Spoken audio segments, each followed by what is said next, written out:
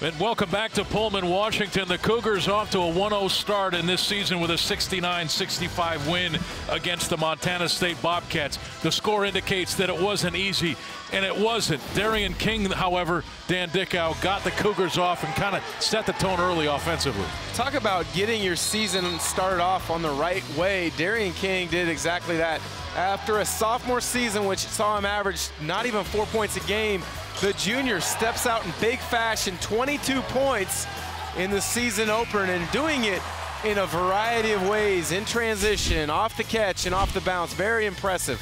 Hawkinson got off to a slow start, but he finished well. He was the guy down the stretch. Oh, he's like that old tool that you know you're going to use at some point during the summer when you're doing all your yard work.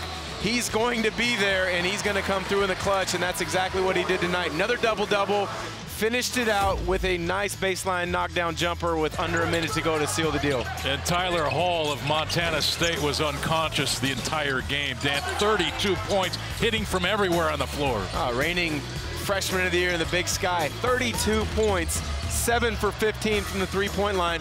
The Cougars just could not stop Tyler Hall tonight. He is going to be a handful for Big Sky opponents this season.